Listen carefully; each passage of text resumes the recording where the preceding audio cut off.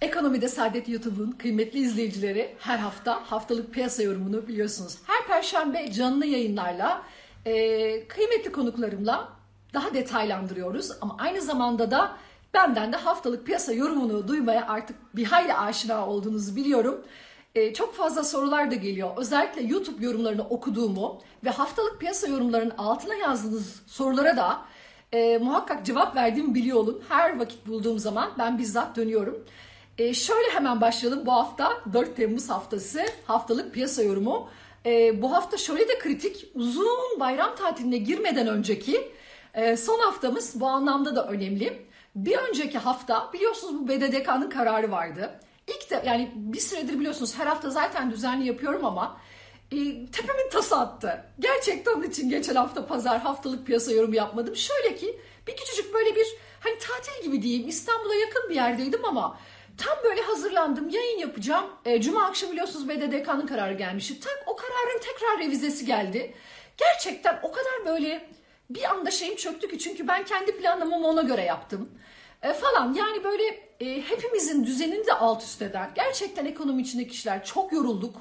Sizlerin de bu yorgunluğunu anlıyorum ama o moral bozukluğuyla e, yorum yapmak istemedim. Siz benim o e, iyi enerjime e, kanalizesiniz. Dolayısıyla da böyle hani lanet olsun diye bir yorum yapmaktan saadet bu sinirle hiç yorum yapma.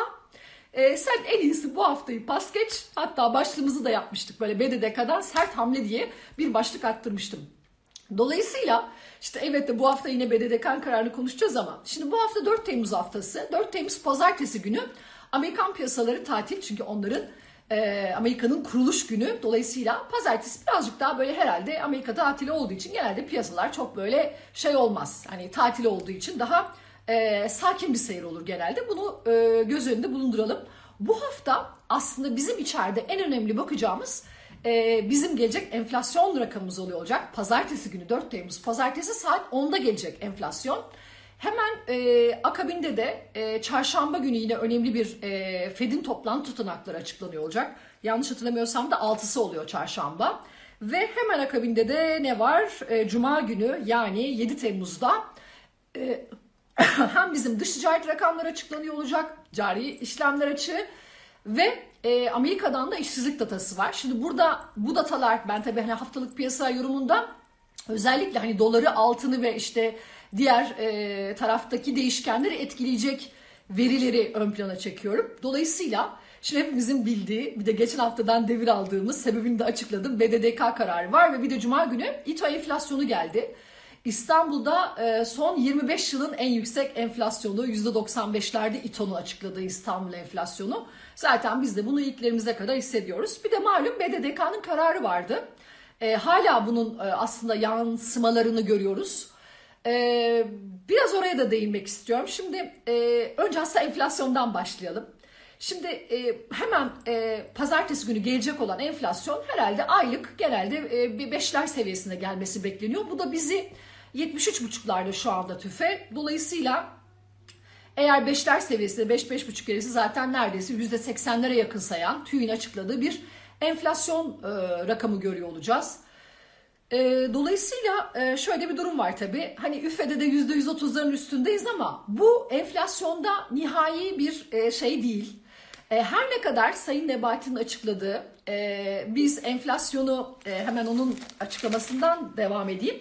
Enflasyonu kontrol altına aldık dedi. Aralık ayında da baz etkisiyle e, düşüşünü göreceğiz dedi.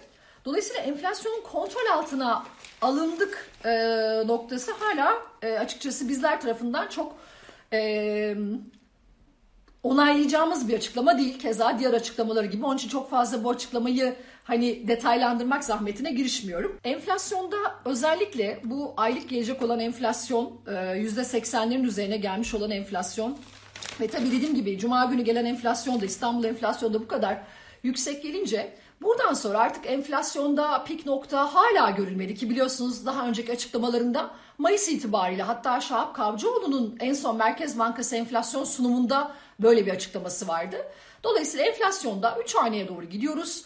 Ee, buradan sonra zaten hani e, gelecek olan işte yine 5'e yakın e, birkaç aylık enflasyonla paralel herhalde Ekim gibi, Kasım gibi enflasyonda çok daha yüksek bir Ancak Aralık ayında hani baz etkisi diyoruz. O da şeyden kaynaklanıyor biliyorsunuz. O Aralık ayında çok yüksek gelmişti ya. Ben bunu daha önce haftalık piyasa yorumlarında izleyenler hatırlayacaktır. Bu baz etkisinin ne demek olduğunu. Çünkü bir önceki ayın enflasyon rakamı oraya e, enflasyon rakamı olarak konuluyor. Aralık ayında geçen sene o 18 hareketi olduğu zaman aylık enflasyon çok yüksek gelmişti. Yani %10'ların üstüne gelmişti. Dolayısıyla eğer bir e, şey olmazsa hani iyimser bir tahminle biz Ekim, Kasım, Aralık ayını kazasız belasız atlatırsak o baz etkisini görürüz ama o baz etkisi de olmayacak. Onu söyleyeyim bir kere. Dolayısıyla enflasyon tarafı hakikaten hepimizin e, iliklerine kadar hissettiği ve hissetmeye de devam edici, hepimizi de zorlayan e, bir e, nokta olarak devam ediyor. Keza biliyorsunuz asgari ücrette e, geçen hafta da bir zam yapıldı. E, sene başında %50 de enflasyon, e, daha doğrusu asgari ücrete yapılan zam. Şimdi bir de %30 yapılmış oldu. E, aslında buna zam demeyelim, enflasyon ayarlaması. Zaten şu anda e, asgari ücret sene başındaki satın alma gücünün aynısına denk getirilmiş oldu. Yani şu anda %50 artı %30 diye düşünsek yani %80 ise zaten bu ay itibariyle enflasyonda %80'leri görmüş olduk.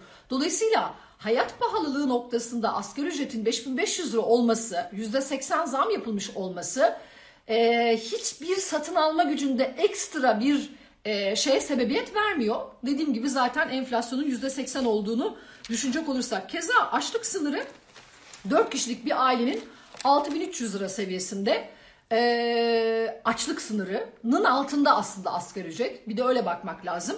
E, yoksulluk sınırında 20 bin lira olduğunu düşünecek olursak e, hakikaten ben asgari ücretle geçinenlerin e, gerçekten mucizenin e, adı olduğunu düşünüyorum. Hani bu kadar yükselmiş bir e, hayat pahalılığı varken e, bir aile geçindiriyorlarsa iki kişi asgari ücretli olarak İstanbul gibi bir şehirde yaşamaya çalışıyorlarsa e, bu asgari ücret zammı açıkçası çok da fazla e, hayat standardını en azından rahatlatacak bir seviyede değil açlık seviyesinde olduğunu bir kere daha altını çizmek isterim.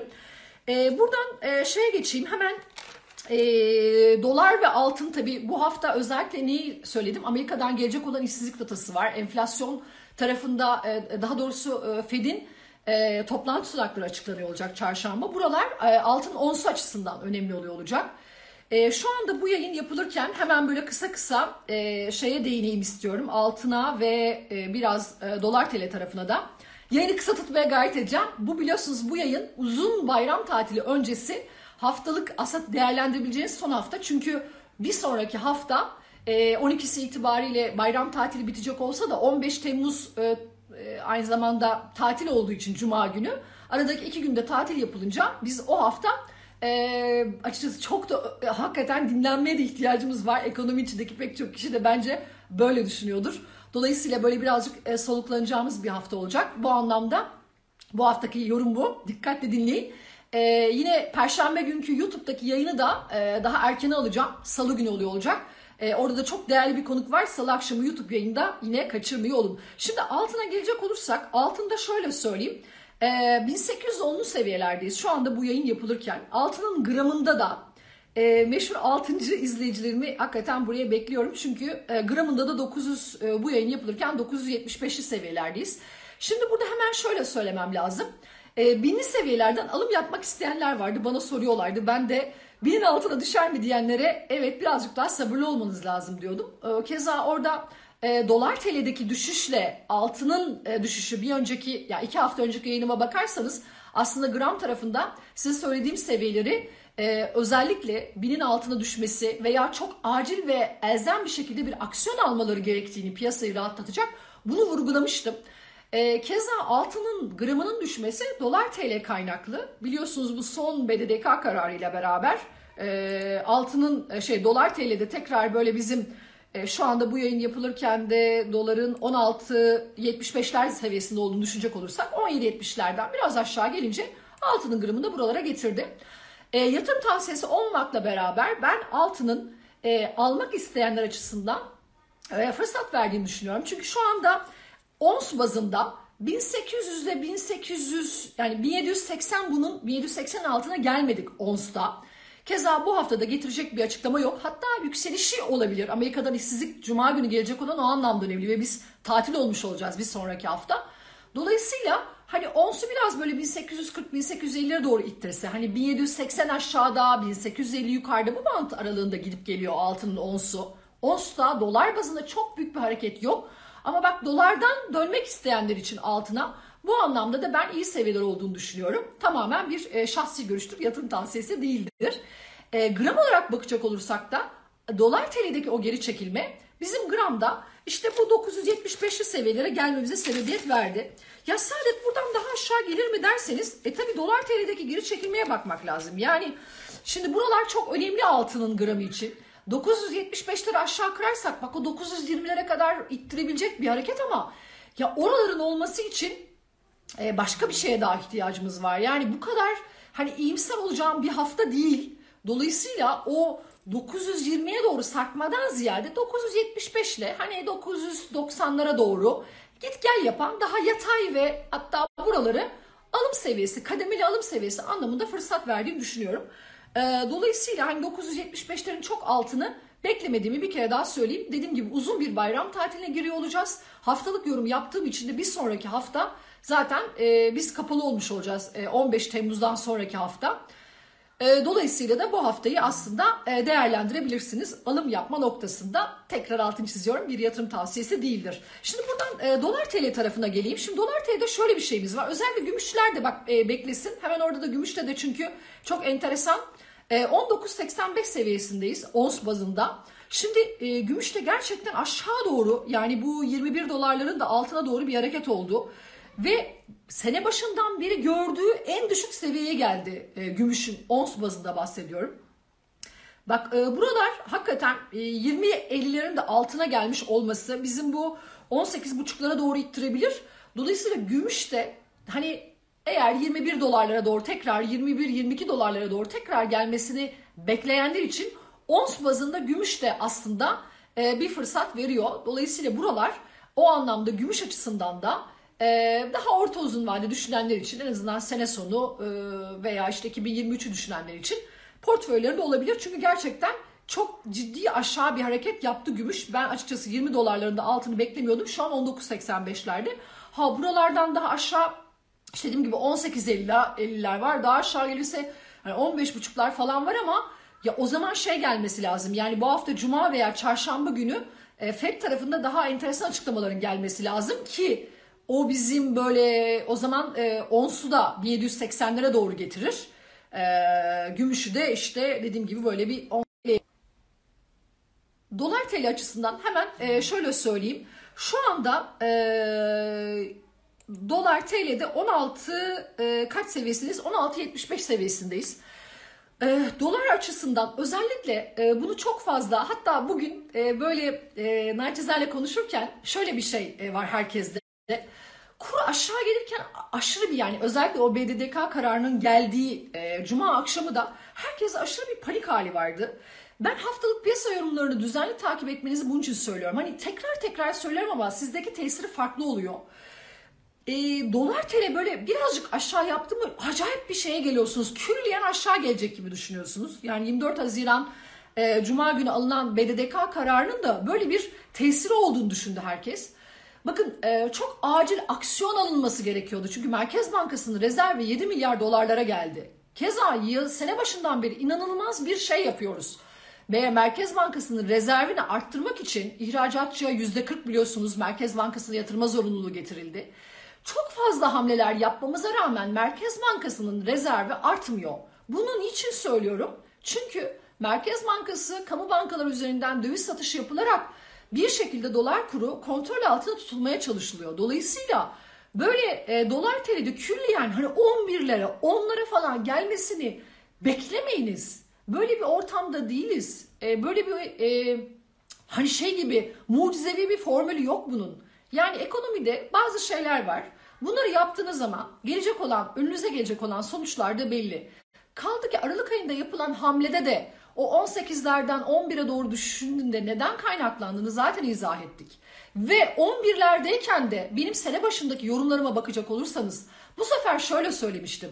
Acı olanı şu. Çok süratli gelmişti ya hani 14'lerden 18'e doğru hareket bir haftada oldu. O süratli hareketi aşağı doğru süratli do- ittirmeniz daha kolay. Ama yedire yedire geldiği zaman onu aşağı ittirmeniz bir o kadar zor. Çünkü piyasa bunu talep ediyor. Sizin yurt dışından döviz girdisine ihtiyacınız var. Dolayısıyla döviz ihtiyacınızı kapatacak bir döviz girdisi olmuyor. Bu uygulanan yeni ekonomi modeli sene başında niçin yola çıkmıştık biz? Ne denmişti bize? Denmişti ki bu öyle büyük ihracat rekorları kıracağız ki o kadar ciddi bir döviz girişi içeriye gelecek ki bu girecek olan dövizden dolayı inanılmaz bir döviz girişi olduğu için kur aşağı gelecek. Bu da enflasyonu aşağı çekecek demiştim. Demişlerdi bize. Bu yeni ekonomi modelini böyle açıklamışlardı. Hatta beni hep uzun zamandır takip edenler de şunu bilecek. Ben bunu bir e, bilardo masasındaki topa benzetmiştim. Bir o köşeye, bir öbür köşeye, bir öbür köşeye vuracak. Oradan da hedefe isabet alıp tak diye oyunu biz kazanacağız. O kadar zaten zordu ki bu modelin e, başarı şansı. Ama yine de biz inşallah başarılı olurlar. İnşallah daha iyi gideriz gibi böyle tamamen ekonomi bilgisinin dışında iyi niyetlerle de olabilitesi konusunda bir şey bırakıyorduk. Şimdi bakın 6 ayı tamamladık ve bakın çok daha zor günler bizi bekliyor. Yani size şöyle söyleyeyim. Yılın ilk 6 ayı buradan sonraki 6 ayı yani bu yayının yapıldığı zaman itibariyle eğer 4 Temmuz pazartesiden sonraki 6 ay yılın ilk 6 ayından çok daha zorlu olacak. Onun için e, bizim bu hemen bayram haftası itibariyle ondan sonraki hafta 18 Temmuz itibariyle biliyorsunuz e, tekrar piyasalar işbaşı yapıyor olacak. O hafta zaten full e, bir tatili var. Ve 21 Temmuz'da da Merkez Bankamızın faiz kararı var. Benim e, temennim gerçekten e, ivedi bir şekilde yapılan yanlışların böyle bir ya biz 6 ayda neyle yola çıkmıştık, nereye geldik deyip gerçekten bir muhakeme yapılıp e, hala iyi niyetimle söylüyorum e, bu ülkeyi bir ödemeler dengesi krizine, bir sermaye kontrolüne gidebilecek hala bir şansı var. Yoksa bizim nihai sonucumuz belli. Bunu söyleyenler de yani biz şey yapmıyoruz. insanları korkutmak için bu yorumları yapmıyoruz. 2 artı 2 eşittir 4 ya bazı şeylerde. Dolayısıyla döviz girişinde olmadığı ihracatta rekorlar kırdık derken ki bugün ablamın da kulaklarını çınlatıyorum. Ee, bunu söyledi. Ya dedi Saadet dedi ama dedi hep dedi ihracat. Bu kadar, dedim ki abla sen bunu söylüyorsan bak hani mühendis e, yüksek eğitimli bir insansın. Bunu söylüyorsan e demek ki daha başka insanların da böyle algılaması çok doğal. Yani biz lütfen ihracatta rekor kırdık denildiği zaman hani burada bu model niçin söylüyoruz biz bakın ihracatta rekor kırdık yani bize döviz girişi oldu. İyi eyvallah tamam ama ithalatta ne yaptık? Yani bu şey gibi burnunu övünmek nasıl bir şey biliyor musunuz? Siz sizin e, geliriniz 50 bin lira ama gideriniz 70 bin liraysa neyle övüneceksiniz? Ben şunu söylüyorum bak benim 50 bin lira gelirim var. Ya kimse bilmiyor ki benim 70 bin lira şey 70 bin lirada borcum var. Bununla övünmek gibi. Yani ben ihracatta 50 bin lira dediğim zaman iyi de kardeşim sen ithalatta neredesin? Bir de ona bakmak lazım. E sen ithalatta yani e, kırdığın yani ihracattan daha fazla ithalat yaptığın zaman net de sen hala açık vermeye devam ediyorsun. Bu modeli uyguladığımız zaman biz cari açık vermeyecektik ya. Dolayısıyla biz cari açık vermeyince bizim enflasyon hani kurumuz düşecekti çok çok yüksek bir e, döviz girişi olacaktı ülkeye. E biz cari açık göreceğiz şimdi bak cuma günü de tekrar gelecek olan açık e, dış ticaret açığı ne olacak? Cari açık ne olacak? Hala biz cari açıkta yani biraz bunun muhakemesi yapılmaz mı? Gerçekten ben bazen e, işte böyle bazen isyan ediyorum. Onun için bu BDDK'nın aldığı kararda da o gün daha isyanları oynayacağım için sizlere dedim ki daha fazla paniğe teşvik etmeyeyim. Dolayısıyla e, bir de şunu söylemek isterim. 2021'de 14-15 milyar dolarlardaki açığımız 2022'de böyle gideceksek eğer biz işte not almıştım herhalde 45-50 milyar dolara yakın bir cari açık veriyor olacağız.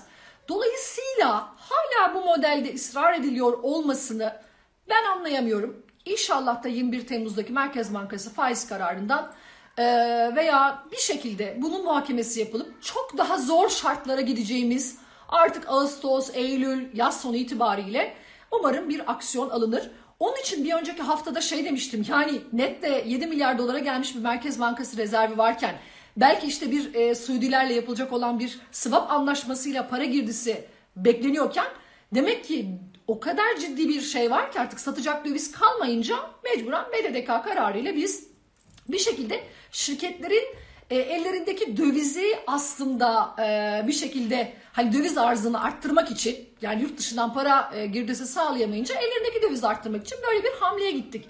Ama bunun da o kadar ciddi bir e, panik vardı ki cuma günü. Yani gerçekten e, pek çok kişi bunun niçin yapıldığını algılamaktan ziyade tam tersi bir etki yarattı piyasada. Şimdi bakın bundan sonra da bu BDDK kararının etkisini e, yani hatta e, Sayın Nebati çıktı dedi ki bu kararlar dedi geçicidir dedi. Hafta içi birazcık daha ortamı yumuşatmak için bazı açıklamalar yaptı ama algı bir ülkede sermaye kontrolüne gidildi. Yani serbest piyasa şartlarının tamamen dışına çıkıldı. Çünkü şirketlerin ihtiyacı olabilir. E, belli kriterler getirildi pazar günü artık bir daha tekrar tekrar onların üzerinden geçmeyeceğim ama en azından en nihai noktada kredi kullanmaları için ya kredi kullanacaklar ya da ellerindeki yani TL kredi kullanmak isteyenler ellerinde 900 bin dolardan daha fazla e, döviz bulunduramayacaklar. E bunu şirketlere yapıyorlarsa yarın bir gün bireylere yapılıp yapılamayacağı ile ilgili e, herkesin kafasında bir soru işareti. Yani o kadar regülasyonları böyle e, devamlı değiştiriyoruz ki ve burada da hala ben en azından kendim naçizane gerçekten bu bayramda kendi 6 ayımı değerlendireceğim. Yani ben ne yaptım, neleri iyi yaptım, neleri daha iyi yaptım YouTube yayınları için bile böyle. Bundan sonra haftalık piyasa yorumları için de eğer hani dediğim gibi e, sizlerden gelen e, talep doğrultusunda bu yorumları yapıyorum.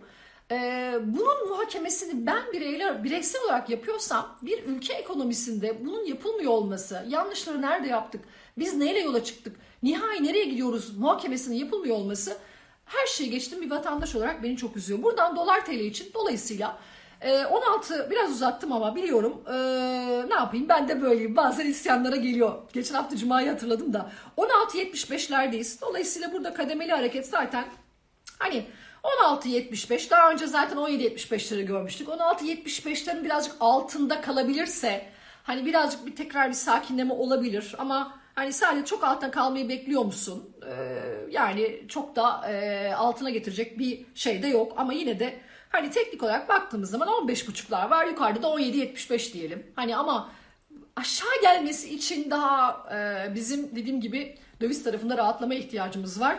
E, çok da öyle aşağı ittirecek e, pozitif bir gelişme yok maalesef.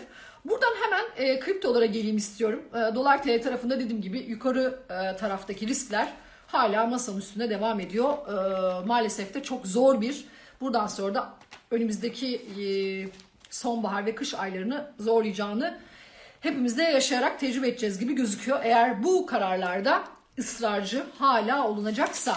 Kripto açısından şöyle söyleyeyim. E, kriptoları özellikle e, biliyorum bu yayınlar haftalık piyasa yorumu ama e, ben biraz astrolojinin bu konudaki öngörülerini biraz böyle hani her noktada her şeyi dinlemekte fayda var. Elbette bir kararlarınızı buna göre buna göre verin diye söylemiyorum ama altcoin'ler için uyarımı yapmıştım. Lütfen e, bir önceki hafta özellikle kripto kısmını daha uzun tuttum. E, altcoin'ler için lütfen ne aldığınıza dikkat ediyor olun. E, artık zarar ettiyseniz yapacak bir şey yok. Ama zarar neresinden dönülüyorsa da kardır. Dolayısıyla altcoin'lerde e, inşallah da e, yani yapabilirsem yapmaya çalışacağım belki kendim yaparım. Ama pek çok projenin e, artık gidecek yerin olmadığını düşünüyorum. Neyin için geçtirdiklerine dikkat etmek lazım. Altcoin için söylüyorum bunu ama ben Bitcoin, Ethereum, AVAX için ben bunlar daha domino e, kripto olarak, olarak görüyorum. Dolayısıyla kriptolarda şu anda Bitcoin'de 19.136 seviyesindeyiz. Ethereum'da 1055'li seviyelerdeyiz. E, Avax'ta da e, şu anda 15 16'lı 16.08 Buralarda e, yani dediğim gibi bir hikayesizlik var. Kripto dünyasında e, en çok e, sorulan sorulardan bir tanesi kriptolar bitti mi? Bittiğine katılmıyorum ama pek çok altcoin'in e, dikkat edilmesi gerektiğini düşünüyorum. E, lütfen elinizdeki altcoin'lerin hangi projenin niçin ilerleyeceğini, neden dolayı e, hangi teknoloji kullandığını iyi irdeleyin. E, dolayısıyla paranızı sıfırlamamak için bu anlamda kriptoculara Özellikle seviye vermiyorum çünkü ben hani Bitcoin'de dediğim gibi ben daha önce söylemiştim 29-30 bin dolarlarda özellikle büyük kurumsal yatırımcıların çok e, maliyetlenmesi vardı. Dolayısıyla hani e, oraların çok altında uzun süre kalması benim çok beklentim olan bir nokta değildi. Evet ortadan kalkmayacaklar. Yani ben Bitcoin, Ethereum ve özellikle blockchain tabanlı e, kriptoların öyle bir riskin olmadığını düşünüyorum. Ama bir hikayesizlik var.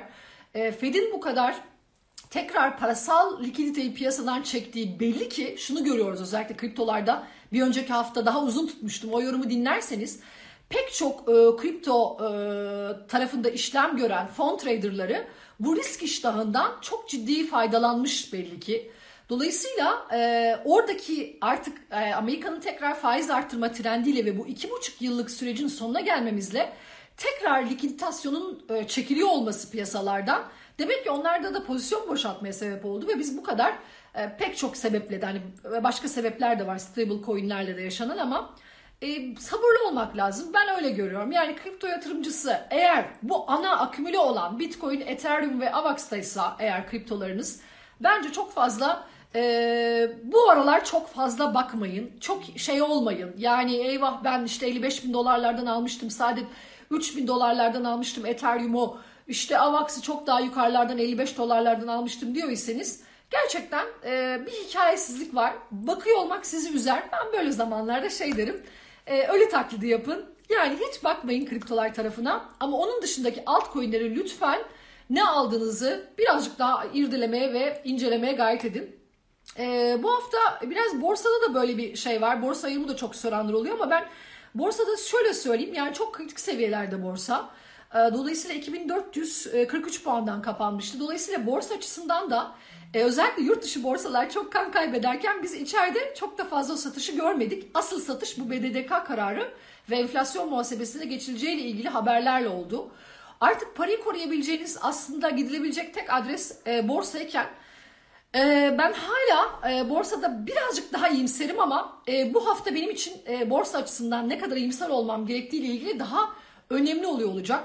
Dolayısıyla e, şöyle söyleyeyim. Hani cuma günü kapanışa da aslında önemli olacak yani bir sonraki hafta. Çünkü çok uzun e, bayram tatili artık Türkiye'de hiçbir fon yöneticisi bu kadar büyük risk almak istemiyor, o, pozisyon taşımak istemiyor. Çünkü bugünden yarına kararların değiştiği bir konjektür ve böyle bir ortamdayız. Onun için daha böyle e, hani bir e, birazcık daha belki daha pozitif olsak da hani pazartesi, salı, çarşamba günü en azından biraz daha perşembe, cuma günü birazcık daha böyle e, satışlarda olabilir. Biraz dikkat etmek lazım. Yani borsada çok önemli bu BDDK kararının da etkisi. Ama diyeceksiniz ki Saadet yani parayı nereye koyalım? E, dolarda, KKM'de sene başından beri baktığınız zaman hani işte 16.70'i baz alacaksak %20'lerin üstünde getirdi. Yani %23'lerde filan. E, bir tek borsaydı aslında para kazandırabilen. E, orada da biraz yatırımcıyı eğer koruyamayacaksak enflasyona karşı paramızı koruyabilecek çok da fazla bir şey kalmadı. Biraz temkin diyorum borsa için. Ama ben bu hafta bir, bir, birazcık daha en azından bir sonraki hafta yani bayram sonrası inşallah e, daha net bir yorum yapabilirim. Çok negatif değilim. Çünkü ben borsanın uzun vadede çok ciddi bir potansiyeli olduğunu düşünüyorum. Ee, bunu uzun vadede söylediğim vakitte bir senenin üstünde eğer bir borsa yatırımcısıysanız e, evet bir yatırım tavsiyesi değildir ama çok inanılmaz yerlerin görüleceğini düşünüyorum. Özellikle bir değişimle veya bir seçim atmosferine de girilirse. Dolayısıyla uzun vade düşünenler bu kısa vadedeki hareketleri daha böyle daha iyi bir yerlerden alım yapmak noktasında size bir fırsat verebilir. Ama uzun vadede bakıyorsanız yani bir sene ve üstünde bakıyorsanız borsaya bence e, hiç üzülmemelisiniz e, diye düşünüyorum. Bu haftalık bu kadar. E, herkese şimdiden e, ne diyeyim Kurban Bayramı'nı e, tebrik ediyorum. E, bu arada bizim e, YouTube yayınımız oluyor olacak. Bu haftalık piyasa yorumu. Tekrar salı akşamı YouTube'da görüşmek üzere. Herkese iyi haftalar.